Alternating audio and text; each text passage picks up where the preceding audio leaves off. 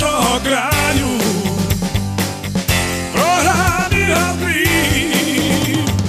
Музика нашого краю, програми Галпі.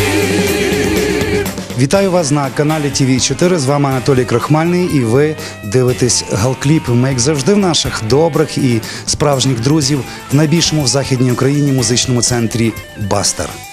В Тернопільській філармонії відбувся ювілейний творчий вечір заслуженого діяча мистецтв України, письменника, журналіста, краєзнавця, редактора Богдана Мельничука. Сьогодні ювіляр є гостем моєї програми. Про себе, про життя, про сьогодення Богдан Мельничук у Галкліпі вже за кілька секунд. Залишайтесь на нашому каналі.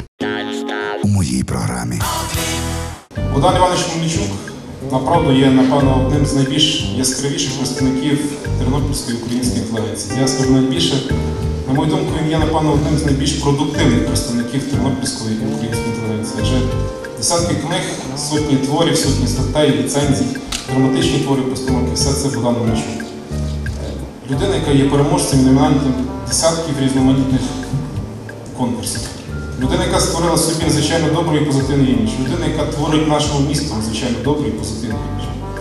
Я завжди говорив, що Тернопіль має свою особливу ауру, але цю ауру творять люди. Так ось Богдан Мельничук є одним з кращих творців цієї аури. Богдан Іванович, я сьогодні хочу перш за все подякувати вам, сказати славу подяки за вашу роботу, за вашу творчість, за ті добрі справи, які ви зробили. Побажати вам, вашій сім'ї, міцного здоров'я, благополуччя, сімейного затишку. Вам особисто постійного творчого неспокою, постійного творчого пошуку і Божих благословень. Знаєте, коли, коли був цей ювілейний вечір, він був дуже довго, я навіть сам не сподівався, що він буде тривати коло п'яти годин. От, і був дуже вдалий жарт з цього приводу нашого народного артиста, е, головного режисера нашого театру Мосійчука. Тобто він вийшов 52 години вийшов- вийшов перекурити і вімкнув мобілу, бо вона була вимкнута. От і в цей час йому телефонує наш спільний знайомий, колись він був режисером у нас в Березолі, е, Дмитро Чебурак. Зараз він головний режисер, художній керівник Коломийського театру. Там у мене йшли п'єси. І каже: Олег, ну чому ти телефон відімкнув? Ну, я от подивися, тебе вісім пропущених дзвінків. Він каже, тому що я на творчому вечорі Мельничука. От і я змушений був відімкнути телефон, бо це буде заважати. От, і, і каже, Олег розказує, раптом я чую, е, Чебурак, та як? Чому ти мені не сказав, я би теж переїхав?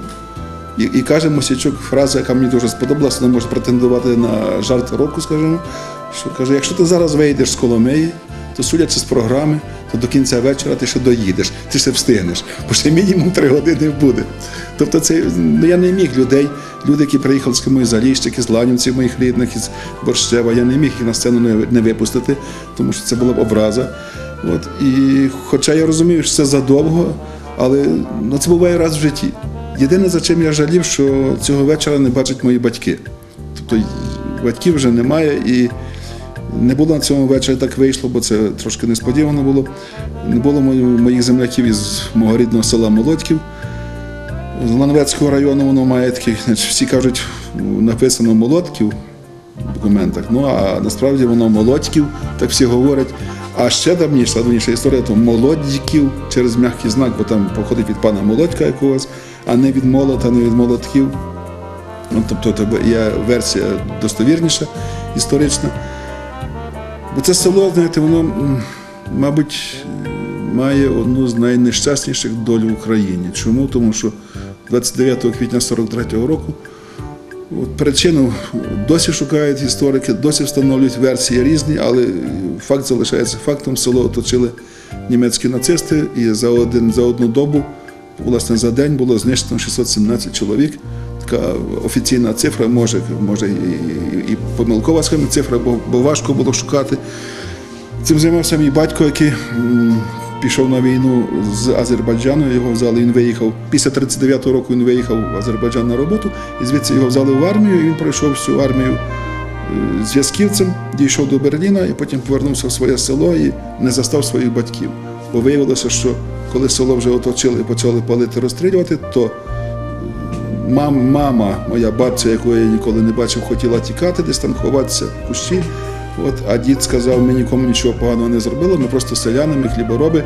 Вони взяли образ Матері Божої, обнесли його навколо хати, ніби мати Божа сподівалися, що охоронить їх. Ну, але німці не зважали на, це все, їх поставили біля хати, розстріляли, влупили чергою по ногах і ще живими кинули вогонь. Тобто батько мій прийшовши з війни, не застав ні батьків, ні села, нічого. Він почав ту пошукову роботу. От на основі його роботи створено було потім музей. Він зараз діється молитовська трагедія, збирання спогадів очевидців. Ну а позаяк там були замішані вояки УПА, так там переплелися дуже багато різних доль. І люди досі, от є, є не- не- не- не- нечисленні свідки, які залишилися. І тоді, за радянських часів, бо я видавав дві книжки про село. От, і навіть зараз вони бояться розповідати про те, що було насправді. Навіть моя рідна тітка земля її Пухомська, Марія Козицька була. От, знаєте, такий був цікавий випадок, що на, на одному з сільських весіль вона зустрічається з іншим односельчанином, і той односельчанин там по чарці каже: «Е, а пам'ятаєш, Маринко, як ти мені воду на кулемет лила? Ну, значить, я нас, для мене це стало страшенно цікаво, бо я нічого, нічого не чув про цей збройний опір. Вона Юхтин, де ти забагато випив, та цього нічого. Яка який кулемет, яка вода і все. Тобто навіть рідна тітка боялася розповісти, що було насправді. Аж тепер я там знову через п'яті роки, через синів цього дядька Юхтима, який Юхтим нас кажуть, який виїхав на Вінниччину, там він помер. То виявилося, що він був причетний до УПА, і він справді стріляв по німцях, тобто був збройний опір в цей час. Тобто я ріс в такому селі, яке не зовсім звичайне. От, і такий один, ну, може, найболючіший спогад дитинства, що от в того, в тої дитини, в того школяра є бабця, в того є дід, а в мене нема нікого. Тобто наперед ви діти в школі, що тому пиріжок, які тоді пиріжки були? Пиріжки були унікальні, із цукрового буряка, з калиною і, і ще там з чимось. Тоді ж не було ж тих повидлів всіх. От є цей пиріжок, хтось там бере хвалиться, чи, чи, чи, на, чи якимось яблуком, чи ще бабця дала, дід дав. Ну, а, я так тамую сльозу, нема нічого. Нема нікого, тому що е, мама моя із сусіднього села Вербовець, батько звідси нікого немає. От. Ну а потім такий другий спогад дитинства, який постійно буде зі мною, це корова і книжка.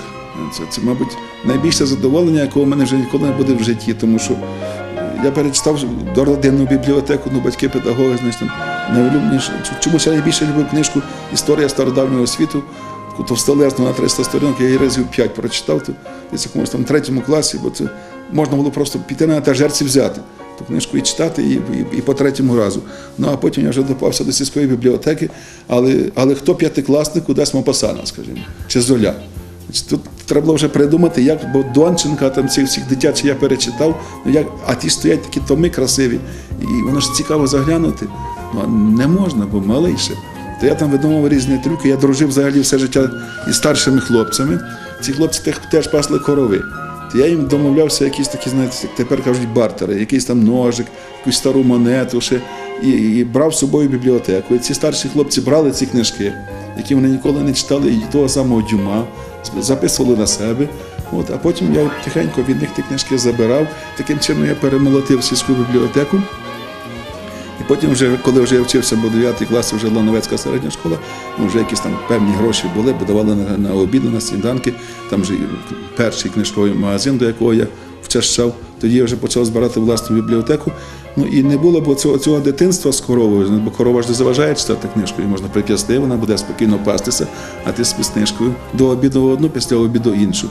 І плюс ці, я досі, е, я досі пам'ятаю, як пахне чебрець коло корови, як, як, як ти ніхто тобі не заважає, бо вдома мама щось каже, тато щось каже, треба допомогти. Ну, бо в нас не було такого, що мама на городі купає картоплю, а синок десь лежить. То це один спокій, а другий спокій це можна ввечері вночі з ліхтариком під, під ковдрою. Залізти під ковдру, значить там всі думають, що спиш. Потім мене піймали, ліхтарик забрали, не вийшли. От. Ну а потім, потім були ланівці, а потім десь такий був вибір життєвого шляху. У мене було два ключових моменти вибору життєвого шляху. Десь в класі сьомому чи шостому е, до мене зайшов класний керівник до мого батька, власне. От до Івана Гавриловича, його назвали Сівселів Гаврилович, він такий був епіцентр сільський, до нього всі йшли там скарги писати, він, він допомагав всім. Він бездоганно знав релігію, він дружив сільським священником, хоча мусив бути атеїстом, бо ж школь, директор школи, але вони були завжди колегами, от, радилися і інколи навіть е, священник консультувався з ним щодо релігії. Батько закінчив теж Львівський університет. От, і я чую, там класний керівник говорить з моїм батьком, а я так мав би спати, по ідеї, я ще там вухо на, на, на, наставлене. Що з нього буде? Ким же він виросте, от куди ж він піде? І цей класний керівник, мій шостак Федір Миколайович, теж вже світлої пам'яті, каже, я би хотів, щоб він пішов журналісти. Він так багато їздить, так багато бачить, то так цікаво все. От тоді я вперше почув слово журналіст, так воно мені засіло, і- це був первинний поштовх. Я тоді почав писати дописи в районну газету. Ну, Тем ще ж немає, які теми будуть пацана в шостому класі, в сьомому класі.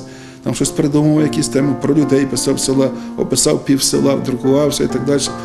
Ну, От, і, і, і доріс до того, що вже коли був в Ланіцях в школі, і раптом в школі такий величезний переполох, до нас їде справжній письменник, знаєте, як в ревізорі, до нас їде ревізор, вчительки бігають, причисуються, манікюр, значить письменник їде. Ну, справді нас зібрали в актовій залі, виступає Василь Фельварочний, письменник з Нападівки, Лановецького району. Мені він здався дуже старим. Тоді, значить, вже ну, таким, а йому було 25. Ну, він старший від мене на 11 років. Ну, він мав таку значить, збірочку, тоненьку збірочку. Ну, а для мене це ж була вже книжка. Вийшов чоловік на сцену із своєю книжкою і, і читає свої вірші, і повна зала. І така якась добра заздрість виникає. Чекай, чекай, якщо він, якщо він із Нападівки, Лановецького району, я з Молодького Лановецького району, він міг добитися до письменника, видати книжку. І, а чому ж я не можу це? Що мені заважає? І там починається така, якась така, ну, мабуть, біла заздрість. А, а, раптом вийде, а, а, а раптом дасться. І от а так мене тягнуло до Львівського університету. Там був шалений конкурс. Мені пощастило з тим, що я писав твір на вільну тему. От, хоча там було ще потім три екзамени. От, але після твору мене привітали тихенько ці старшокурсники, які там десь були в комісії, стежили, читали, що після цього твору кажуть, ви вже вступили, ви вже можете не переживати, ви вже вступили, бо ці екзамени вже по суті не мають значення. Ну а потім я мав унікальних викладачів. Знаєте, я можу тільки, я хочу, щоб теперішні студенти, якими я трошки займаюся, мали таких викладачів, яких мав я. Тому що це були, це були легендарні викладачі. Скажімо, першу лекцію вступ до літературознавства читає, як потім виявилося наш земляк із Олієва Зборівського району, професор Здоровега. Теж здавався мені таким вже древнім професором, а тепер я дивлюся, йому було аж 39 років. Він вже доктор наук, професором. Він читає першу лекцію, нормально розповідає, ми всі записуємо, роти відкриті, бо цікаво, вступ до літературознавства. Минає тиждень, він приходить знову на свою пару, бо це була одна пара в тиждень з літературознавства. І він каже, що там, товариші студенти, не панове, товариші, оцю лекцію, яку я читав, я читав погано. Я її перечитаю цю лекцію. Тобто це сама тема, але я, ну, в мене не було настрою, чи я погано почитав. Без жодної, значить, е, шпаргалки, які тільки одні цитатки, там виписав в нього коли ще. Він бере цю лекцію, перечитує. Ну як для нас було це фантастично. Як його після цього викладача не любити, коли він так поважає нас?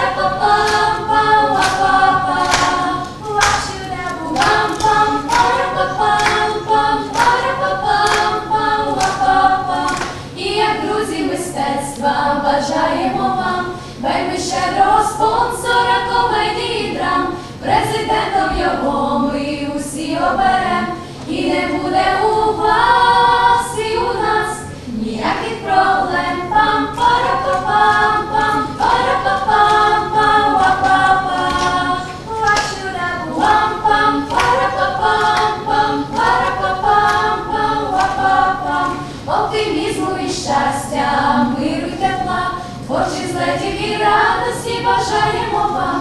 Хай панує між нами добро і любов, нехай дружба єднає, наше дня з нами знов. Пам пара па пам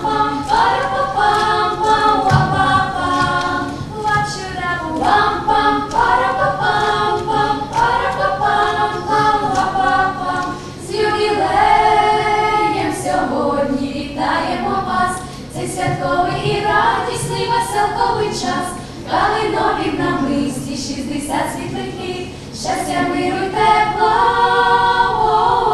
Зичить вам диво світ, щастя, миру й тепла, щастя, миру й тепла, зичить вам диво світ, щастя, миру й тепла. Зичить вам диво світ, пам пара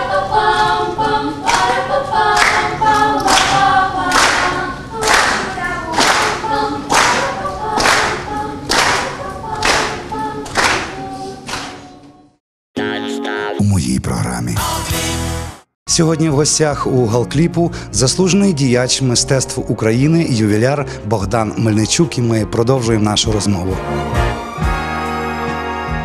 Наша така була величез, ну, як величезний фахівець у галузі мови, стилістики. Теж наша землячка потім виявилася з Золотого потоку Олександра Антоніна Сербенська. Майже всі тернопільські журналісти, відомі її учні. Був покійний, покійний Кибальчич Володимир, геніальний стиліст, який жив десь там в монастирі, жив самітньо, але приходив на, на, на пару, він приносив з собою газету ЦК Компартії України, орган Радянська Україна. Вона вже була синя, червона, зелена, вона вже була покреслена. Тут помилка, тут помилка, тут помилка, це стилістика і так далі. Так далі. Це був такий тренаж, що ну, я не знаю, я, я порівнюю трошки теперішніх студентів, і я працював в, нашому, в наших вузах. Не зовсім ідентично, скажімо, на жаль. От, і вже після цієї бази я, мені, мені десь, мабуть, втретє пощастило, тому що я потрапив на практику у вільне життя. Спочатку ровесник. А ровесник це був доброзичливий колектив, колосальна газета, яка була дуже популярною молодіжною газетою. А потім потрапив у вільне життя, у відділ сільського господарства. А в вільному житті була якраз зміна покоління. Такий період потрапив, що всі були старші. По-перше, мені дали квартиру за 20 днів, фантастично в Тернополі. От, але перед цим я був двічі на практиці, ну і, мабуть, зарекомендував себе. А по-друге, що ці старші люди, і Володимир Клюйко, і, і Клюйко, Паламар, Іван Горбат, і Богдан Грабовський, ці старші люди, знаєте, десь таке природне людське бажання.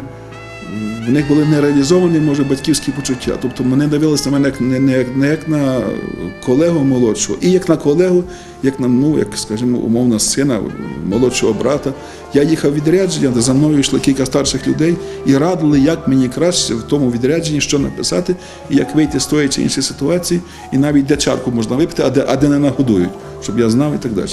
От, але цю атмосферу тоді створював тодішній редактор вільного життя Микола Павлович Костенко, який так йому вдалося такий колектив створити, де, де всі п'ять номерів тиждень і всі виручали один одного, і було дуже доброзичливе ставлення. От зараз це щось подібне робить теперішній редактор вільного життя Федоришин Петро Степанович. Він, він же ж теж прийшов тоді, коли я прийшов. Він бачив цю атмосферу, і зараз в нього таке, така сама атмосфера у вільному житті в редакції що старші допомагають молодшим. І ну, це, це, зрештою обов'язок. Так само мені пощастило з Борисом Демковим. Знаєте, коли ми оцінюємо вклад Демкова Бориса літературу, от, ну, а я працював поруч з ним, і навіть був такий період, коли він працював під моїм керівництвом в газеті Русалка Дністрова. Ну, якби він працював тільки на себе Демків, то в нього було б 50 томів, може 60 томів. Тобто це, це високопрофесійний, висококультурний поет. Але він, ну, я знаю, 9 десятих свого часу віддавав початківцям. Тобто він на кожен лист, кожен, який там приходили віршки, дитина прислала вірші, він давав ґрунтовну відповідь. Він розбирав цей вірш по пунктах, по комах, по римах. Не просто стандартну відповідь, отримали, дякуємо все. І більшість тернопільських теперішніх літераторів це вихованці Демківа, тому що він ніколи не рахувався з часом. Ну, якась така душа була щедра, знаєте, і він мене як приємно вразив, коли я був студентом другого курсу і послав йому вірш, ровесник, він його надрукував, ну я отримав газету. От минає, я вже закінчив університет, минає років п'ять. Я його з великим ще острахом, як зустрічати. Я вже працював у Ланівцях, я рік працював у Ланівцях після університету. Я його запрошую на, на Уланівці на засідання літстудії. Ну, Класика, Демківа. Думаєш, як його зустрічати, чим він каже, я автобусом приїду, не переживайте, хлопці, все. Він приходить і на засіданні літстудії раптом читає з пам'яті мій оцей вірш, надрукований 5 років тому.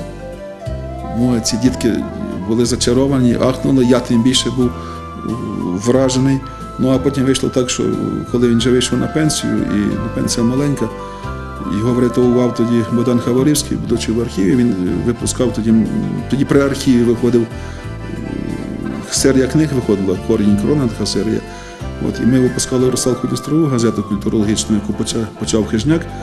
От, і Деньки попросився на роботу, хоч якийсь доважок до цієї пенсії. То слухнянішого, чимнішого працівника, як, як той великий поет, я не мав. Я, я йому соромився сказати, що Борис, е, бо він попросив тільки на ти говорити, от ось тобі текст треба вичитати. То я три рази ходив, проговорював це в собі. Ну як я поетові скажу? А потім я перейди на ти, та що ти тут, давай я це прочитаю, і так далі, і так далі. Тобто в мене були гарні вчителі, в мене були е, достойні люди, яких я вчився. За тебе помочі у Бога, і Божій матері вклонюсь, щоб стала доброю дорога, якою йдеш, та так нелегко.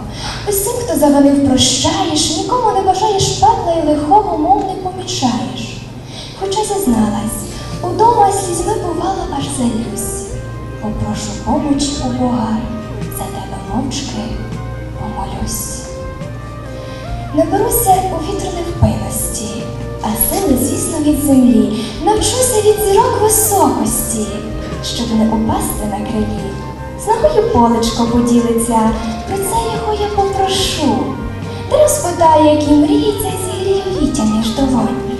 Від тебе ж наберуся щирості, а подарую знов любов.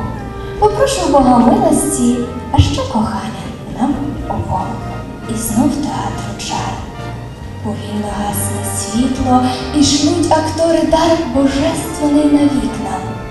І кожен точний жест, і кожне гучне слово знаходять без адрес у залі світлочолих. У щастя ти чорний пливеш про все забувши.